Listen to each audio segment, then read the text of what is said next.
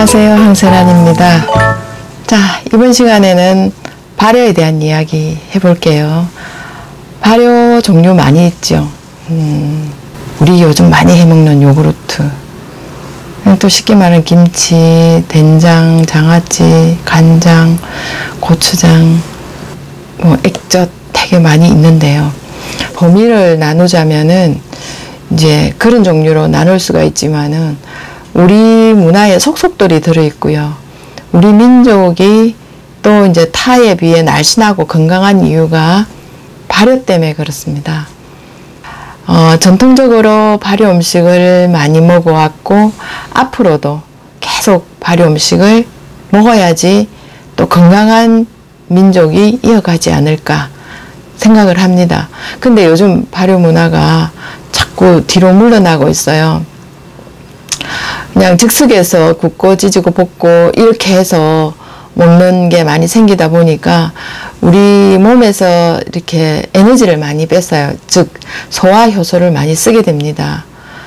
어, 소화 효소를 많이 쓰다 보면은 대사 쪽으로 돌아가야 될 그런 이제 에너지들을 많이 못 쓰게 돼요. 차츰 제가 얘기를 하겠지만은 발효 음식을 먹는 것이 얼마나 건강한지 충분히 발효 음식도 맛있는 게 많이 있고요.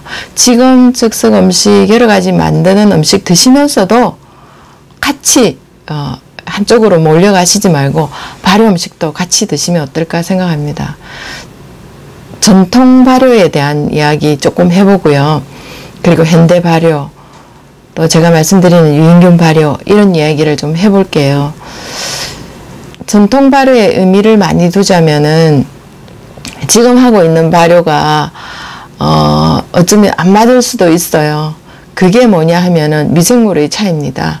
전통 발효는 미생물을 기다렸어요. 오랜 이제 시간을 두고 어, 한참 여름에 많이 나오는 식재료를 가지고 된장, 뭐 간장, 예, 소금 이런 데 막 절이죠. 그죠? 절여 가지고 가을, 겨울, 봄 이렇게 먹고 이렇게 했는데 이제 그렇게 하는 동안 이제 썩지 말라고 이제 절임을 많이 했는데 그 절임을 하는 그 속에서도 미생물이 있어요. 미생물이 있는데 미생물이 아무거나 오지는 못하죠. 그게 강한 애들만 오거든요. 또 하나 또 두자면은 저기 술 발효가 있어요.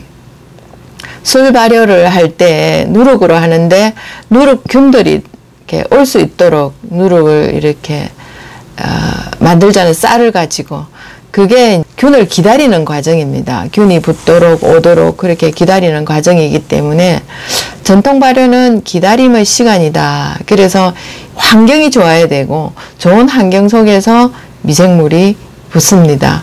근데 요즘 환경이 좋지 않잖아요. 그래서 어떻게 하냐 하면은 우리 집 뭐 아파트라든지 그 실내에서 일어나는 대로 기다려요. 그래서 맛이 차이가 나는 거죠. 전통 발효할 때는 옛날에는 환경이 좋았습니다. 오염도 되지도 않았고 그러다 보니까 미생물들도 굉장히 좋은 애들도 많이 있었고요.